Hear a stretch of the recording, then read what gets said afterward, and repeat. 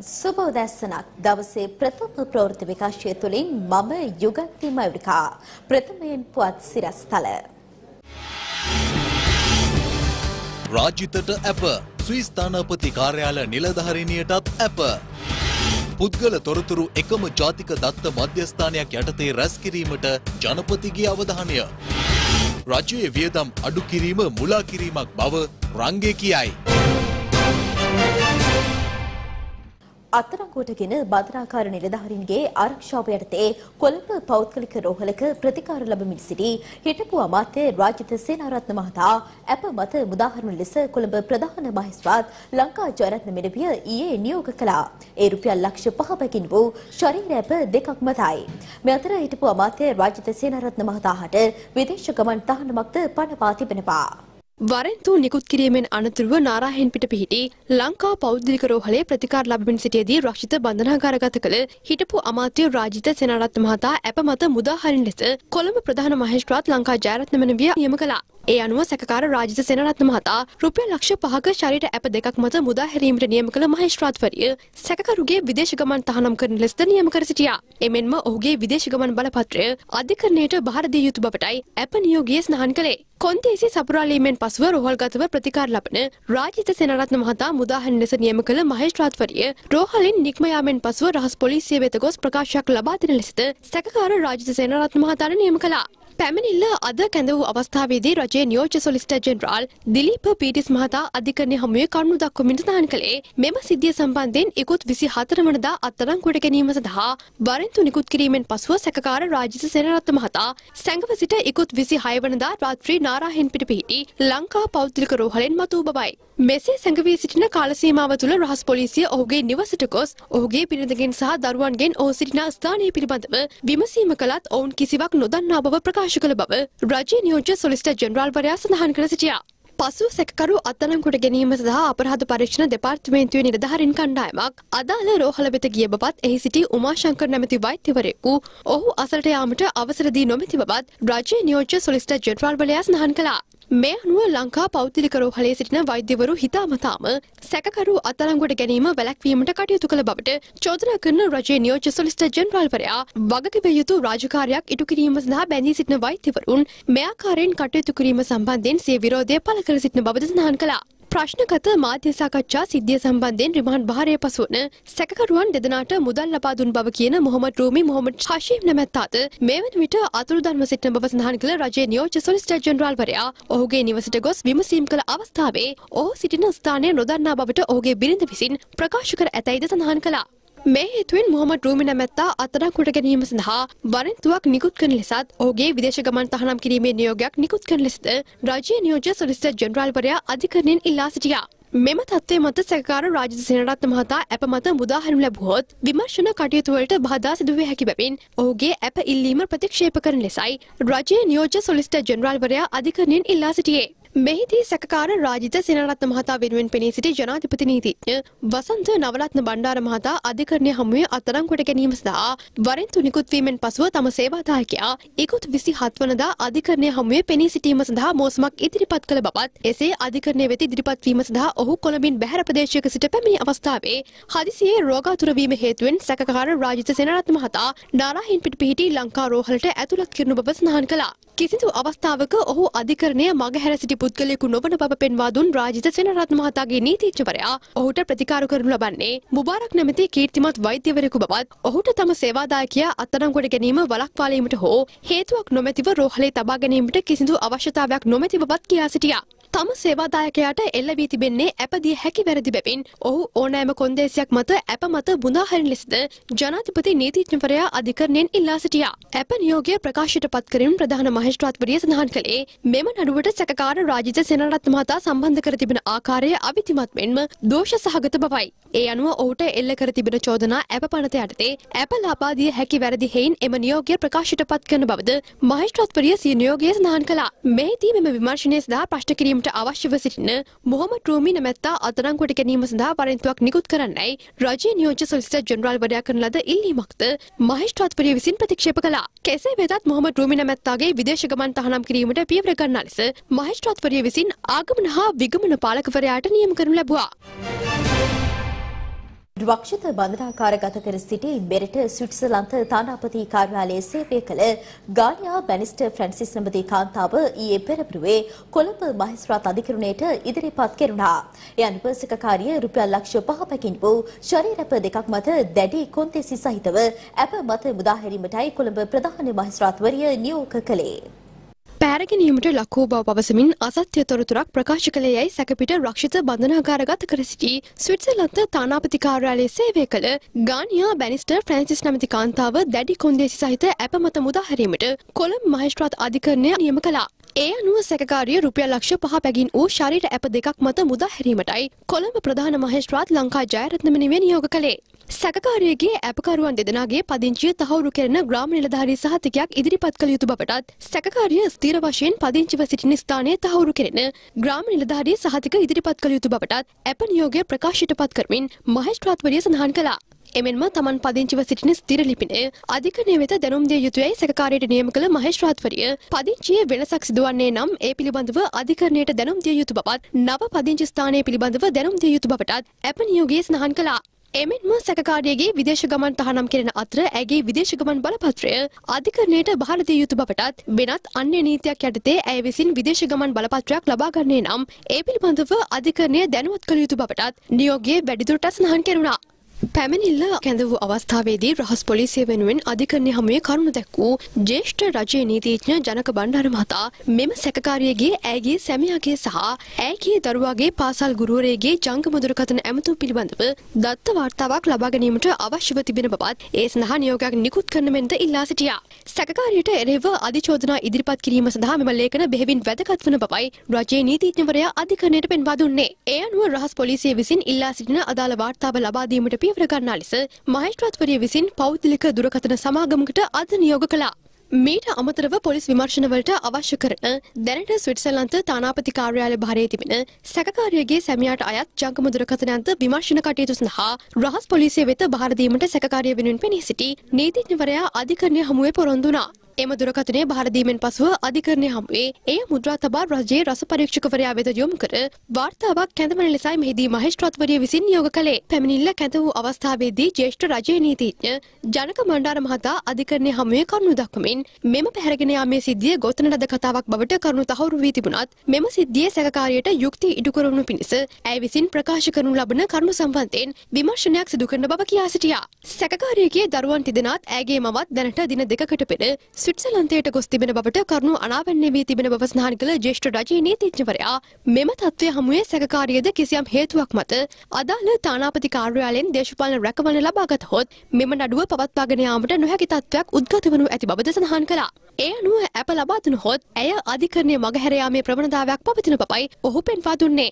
එම අවස්ථාවේදී අධිකරණය හමුවේ කරුණු දැක්වූ සැකකාරිය වෙනුවෙන් පෙනී සිටි නීතිඥ උපුල් කුමාරප්පෙරුම් මහතා සඳහන් කර සිටියේ තම සේවාදායිකාවගේ දරුවන් තිදෙනාත් මවත් නිවාඩුවක් ගත කිරීම සඳහා සිංගප්පූරුවට ගොස් තිබෙන බවත් ඇයගේ දරුවන් ඉදිරි පාසල් කාලය ආරම්භ වීමට ප්‍රථම ශ්‍රී ලංකාවට පැමිණීමට නියමිත බවයි. එහිදී මහේස්ත්‍රාත්වරිය රහස් පොලිසියෙන් විමසා සිටියේ සැකකාරියගේ මව ඇයගේ දරුවන් තිදෙනා සමග ස්විට්සර්ලන්තයට ගොස් තිබෙන බවට කරුණු දැනගත්තේ කෙසේද යන්නයි. ඊට ප්‍රතිචාර දක්වමින් රහස් පොලිසිය අධ්‍යක්ෂකවරයා කියා සිටියේ රහස් පොලිසිය ගුවන්තොටුපොළ ශාඛාව ලබා දුන් තොරතුරු මත මේ බව ප්‍රකාශ කරනා බවයි. කෙසේ වෙතත් විත්තියේ නීතිඥවරයා අධිකරණය හමුවේ කරුණු දක්වමින් තම සේවාදායකාවගේ දරුවන් තිදෙනා සහ ඇයගේ මව සිංගප්පූරුවට ගොස් තිබෙන බවට ඉදිරිපත් කළ කරුණු සටහන් කරගත් මහේස්ත්‍රාත්වරිය එම කරුණු මතම සැකකාරියගේ ඇප ඉල්ලීම ඉවතලිය නොහැකි බව ප්‍රකාශ කළා. දීර්ඝ කරුණු අධ්‍යයනයකින් පසුව සැකකාරිය දැඩි කොන්දේසි සහිත ඇප මත මුදා හැරීමට තීන්දුව කළ මහේස්ත්‍රාත්වරිය පැමිණිල්ල නැවත ජනවාරි මස නම වනදා කැඳවීමට නියම කළා.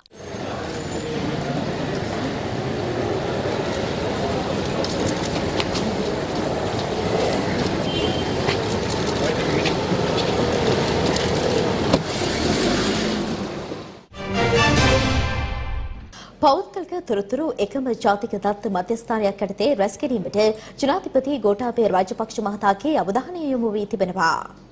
ජනාධිපති ගෝඨාභය රාජපක්ෂ මහතා සහ තොරතුරු හා සංනිවේදන තාක්ෂණ අමාත්‍යාංශයේ ජ්‍යෙෂ්ඨ නිලධාරීන් අතර හමුවක් පැවැත්වුණා. ඒ ජනාධිපති කාර්යාලයේදී මෙම විශේෂ සාකච්ඡාවේදී ජාතික හැඳුනුම්පත් රුයතුරු බලපත්‍ර ආගමන හා විගමන ලේඛන උපැන්න හා මරණ ලියාපදිංචි කිරීම ඇතුළු සියලුම පුද්ගල තොරතුරු එක් ජාතික දත්ත මධ්‍යස්ථානයක් යටතේ රැස් කිරීමට ජනාධිපතිවරයාගේ අවධානය යොමු වුණා. එකම තොරතුරු ආයතන කිහිපයක එක් රැස් කිරීම දැනට භාවිතා වන ක්‍රමය වන අතර එය එකම පද්ධතියක් යටතට ගැනීමෙන් ප්‍රමාදය වළක්වා කාර්යක්ෂම සේවාවක් ජනතාවට ලබා දීමට හැකිවන බව ජනාධිපතිවරයා මෙහිදී අවධාරණය කළා. එමගින් සාවද්‍ය හා වංචනික තොරතුරු සංසරණය වීම වළක්වා ගත හැකි බවද ජනාධිපතිවරයා පෙන්වා දුන්නා. අමාත්‍යාංශ දෙපාර්තමේන්තු සහ අර්ධ රාජ්‍ය ආයතනවල අන්තර් සමතිතා රටේ සංවර්ධනයේදී ඉතා වැදගත් වනවා. අදාළ ආයතන ජාලගත කරමින් සම්බන්ධ කිරීමෙන් ඉහළ ඵලදායීතාවයක් ළඟා කරගත හැකි බවයි පිරිස අතර සාකච්ඡාවට ලක්වුණේ. වර්තමානයේ තොරතුරු සහ සංනිවේදන තාක්ෂණ අමාත්‍යාංශය යටතේ ඇති ඇතැම් ව්‍යාපෘති ඒවායේ ඵලදායීතාවය සඳහා ඍජුව වග කියන අමාත්‍යාංශ හෝ ආයතන වෙත පැවරීම කෙරෙහිද ජනාධිපති ගෝඨාභය රාජපක්ෂ මහතාගේ අවධානය යොමු වුණා. පාසල් පරිගණක විද්‍යාගාර ව්‍යාපෘතිය අධ්‍යාපන අමාත්‍යාංශය යටතට පැවරීම ඒ අතරින් එකක් වනවා. අමාත්‍ය බන්දුල ගුණවර්ධන රාජ්‍ය අමාත්‍ය ලක්ෂ්මන් යාපා අබේවර්ධන අමාත්‍යාංශ ලේකම්වරුන් ඇතුළු පිරිසක් මෙම අවස්ථාවට එක්ව සිටියා. මේ අතර ශ්‍රී ලංකා පරිපාලන සේවයේ විශේෂ ශ්‍රේණියේ නිලධාරියක වන PSM චාල්ස් මහත්මිය උතුරු පළාත් ආණ්ඩුකාරවරිය ලෙස ජනාධිපති ගෝඨාභය රාජපක්ෂ මහතා ඉදිරියේ අතිවරුම් දුන්නා. සෞඛ්‍ය හා දේශීය වෛද්‍ය අමාත්‍යාංශයේ ලේකම්වරිය මෙන්ම ශ්‍රී ලංකා රේගුවේ අධ්‍යක්ෂ ජෙනරාල්වරිය ලෙසද ඇය කටයුතු කර තිබෙනවා. PSM චාල්ස් මහත්මිය මීට පෙර මඩකලපුව හා වවුනියාව දිස්ත්‍රික් ලේකම්වරිය ලෙසද දීර්ඝ කාලයක් සේවයේ නිරතව සිටියා. දූෂිතයන්ට දඬුවම් ලබා දීමේ කාර්ය වත්මන් රජය නිසි ලෙස ඉටු කරන බව රාජ්‍ය අමාත්‍ය ගාමිණී ලොකුගේ මහතා පවසනවා. ශ්‍රී ලංකා පොදුජන පෙරමුණ කැඳවා තිබූ මාධ්‍ය හමුවකට එක්වමින් ඒ මහතා මේ බව ප්‍රකාශ කළා. රජයක් හැටියට අපි නීතිය පසිදෙන ආයතන වලට කියන්නේ මේවා හරියාකාර විභාග කරලා බැර්ධිකාරයන්ට දඬුවම් දෙන්න කියලා. එහෙම නැතුව අපි කියන්නේ නෑ අහවලාව හිරේට බාරට ගන්න අහවලාව රිමාන්ඩ් කරන්න අහවලාට දඬුවම් කරන්න කියන්නේ. ඉතින් ඒ හින්දා මං හිතන්නේ මේ ආරම්භයක් පමණයි. මේ රටේ මහජනයා ගිය මැතිවරණයේදී අපෙන් ඉල්ලන් හිටියේ. තමුන්නාන්සලාව පත් කරන්නේ මේ රටේ ඒ වගේ දූෂිත කරපු අය ඉන්නවා නම් අපේ හෝ ඒ ඒ සියලු දෙනා වෙනුවෙන් කටයුතු. ඒ කටයුතු හරියාකාරයිෂ්ට වෙයි. නමුත් අද එක්සත් ජාතික පක්ෂයේ අය ඇවිල්ලා කියනවා දේශපාලන පරිගැනීම් කියලා. කටින්ද කියන්නේ කියන ප්‍රශ්නේ යහන්නේ. අපි කියනවා බොහොම පැහැදිලිව අපි අතිගරු ජනාධිපතිතුමාගෙන් ඉල්ලීමක් කරනවා. අපි අගමැතිතුමාගෙන් ඉල්ලීමක්. මේ නීතිය මේ මේ මේ විදියට යන්න ගියොත් මේ රටේ ඔක්කොම අපරාධකාරයෝ ටික ගිහිල්ලා හැම රෝහලකම නැවතිලා අපරාධකාරයෝ ඔක්කොටම හෘදයාබාධය. හැබැයි අප ලැබෙනකොටම අපව පයින් ඇවිදගෙන යයි. අපි හොඳට දැක පපුව දාලා හොඳට ඉස්සරහට හොඳ ගැම්මට ඇවිද්දා. කිසිම අවුලක් තිබුණේ නැහැ. දැන් ආපහු සැරයක් මොකක් හරි ප්‍රශ්නයක් කළා බලන්නකෝ ඔය කට හොඳට ඇරෙන හැටි. මේ විදිහට නීතියෙන් වසන් වෙලා අනුන්ට හිරගෙදර යන්න සලස්සපු. මයි පහුගිය ආණ්ඩුවේ ප්‍රබල ඇමතිකම් දරලා ඒ නිසා මේ විදිහට යන්න ගියොත් අපිට සිද්ධ වෙනවා බොහොම පැහැදිලිව මේකට විරුද්ධව ජනතාවගේ අද ජනතාව ලෑස්ති වෙලා ඉන්නේ. මේ රටේ සාමාන්‍ය වරදක් කරපු මිනිහෙක් හිරගෙදර ඉන්නත් මේ රටේ බරපතල වරදක් කරපු තාම හොඳ සැප වාට්ටුවක ඉන්න. මේ දෙක වෙනස් නොවුනොත් ජනතාව තීන්දුවක් ගන්නවා. රට යහපත් දිශාවකට ගමන් කරන අවස්ථාවක සංවේදී සිදුවීම් විස්මතු කරමින් රට අනතුරකට පත් නොකරන්නයි කොමියුනිස්ට් පක්ෂයේ ප්‍රධාන ලේකම් ඩිව් ගුණසේකර මහතා පවසනවා. මේ අතරින්ම මාධ්‍ය හමුවට එක්වමින් උතුරු මැද පළාත් ආණ්ඩුකාර ලංකා සම සමාජ පක්ෂයේ නායක මහාචාර්ය තිස්ස විතාරුණ මහතා සහල් මිල සම්බන්ධයෙන් අදහස් පළ කළා. දැන් අලුතෙන්ම මතුවෙච්ච ප්‍රශ්නයක් තමයි අලුත් ප්‍රශ්න නිර්මාණය කරනවා. දැන් ජාතික ගීය ප්‍රශ්නයක් මතු කරලා. ඉතින් මේ ප්‍රශ්න මම හිතන්නේ ආණ්ඩුවත් විපක්ෂයේ සියලු දේශපාලන පක්ෂත් තේරුම් ගන්න ඕන මේවා සංවේදී ප්‍රශ්න දේශපාලන සංස්කෘතියක් වෙනස් කරමින් රට යහපත් තත්ත්වයකට ගොඩනගන්න උත්සාහයක් දරන වෙලාවේ මේ වගේ අනවශ්‍ය ප්‍රශ්න පහසුවෙන් සාකච්ඡා මාර්ගයෙන් විසඳගන්න හැකි ප්‍රශ්න මතු කරලා රට අනුතරකට පත් කරන්න එපයි කියන කාරණාව එසේ නැත්තම් වෙන්නේ අහිංසක අති බෞතරයක් දුප්පත් සිංහල දෙමළ මුස්ලිම් ජනතාව මහත් බලාපොරොත්තුවෙන් අපේක්ෂාව ඉන්න කොටස් තමන්ගේ අපේක්ෂා බංගත්තයකට පත් වෙනවා. අන්න ඒ නිසා ඔවුන්ට බුද්ධිය පහළ වේවයි කියලා තමයි මගේ මගේ ඉල්ලීම. මට ආරංචි වෙලා තිබුණා මහා බැංකුවේ වෙනම අරමුදලක් තියෙනවා ගොවි සමුපකාරවලට ඉතාමත්ම අඩු පොලි පහසු ණය ලබා දෙමු. කීයද පොලිය? වාර්ෂික පොලිය 100ට එකකට අඩුයි. මම දැන් තීන්දුවක් අරගෙන තියෙනවා. මේ සමුපකාර ඔක්කොම ඉන්න නිලධාරීන් ඔක්කොම පස් කරලා ඒ වෙනුවෙන් පත්කරන්න යනවා සමුපකාර පරීක්ෂකවරුන්. සමුපකාර පරීක්ෂකවරුන් තමයි ඒ සමුපකාර එතකොට ක්‍රියාත්මක කරන්න. එතකොට දේශපාලන ඇගිල් ගැහෙමක් නෑනේ. එහෙම කළෝතින් ගසා කෑමක් කරන්න බෑ. මේ බලන්න මේ මහා මෝල්ලයි අයිතිකාරයෙන් ගිහිල්ලා මේ මේ ඒකාධිකාරයක් නෑ ඇති කරලා. ඉතින් මේක කොහොමත් අපි තීන්දු කරලා තියෙනවා කඩන්න වාමාංශිකයින් හැටියට මම පෙන්වන්නම් හාල් මෙලත් බස්සන්න පුළුවන් ගොවීන්ට හරි මිලක් ලබා දෙන්න පුළුවන් ඔවුන්ගේ මේ අස්වැන්න.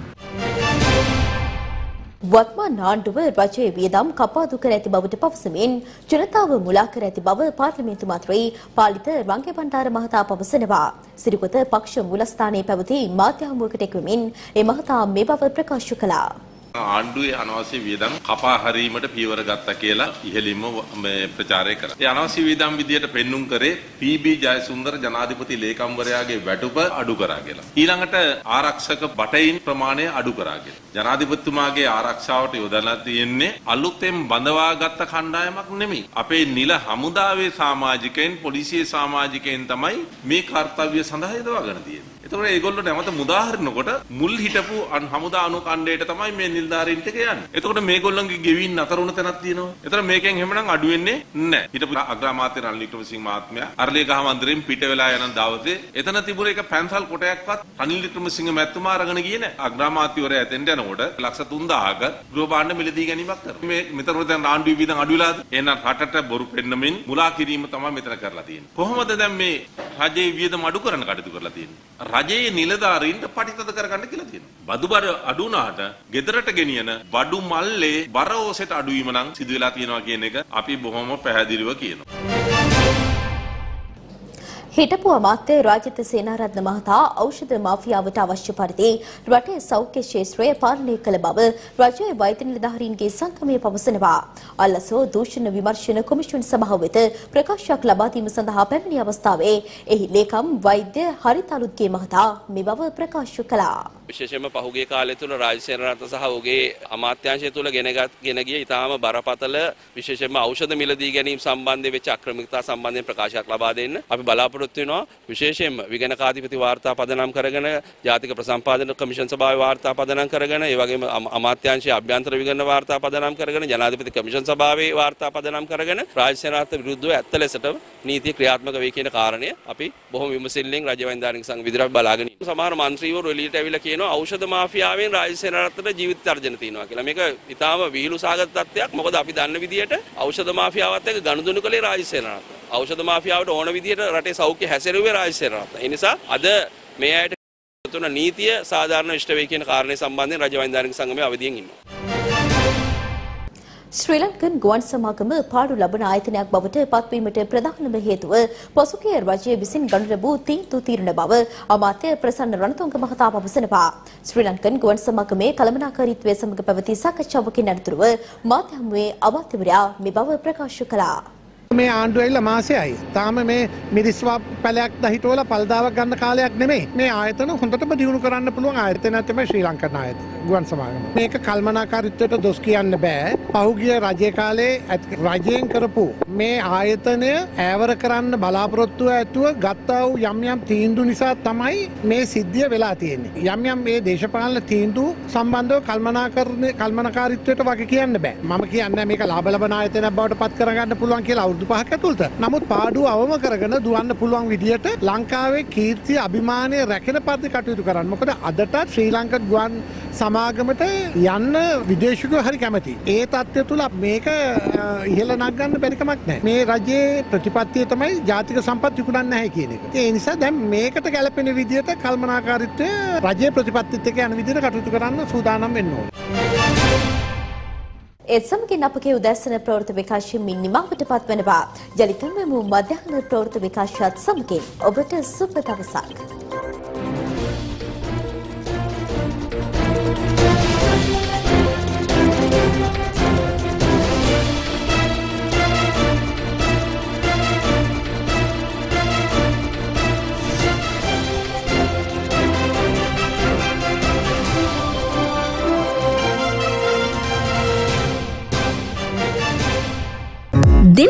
අලුත් වීඩියෝ සහ ප්‍රවෘති නැරමීමට ඉහත බටන එක කලික් කර සියත TV සබස්ක්‍රයිබ් කරන්න.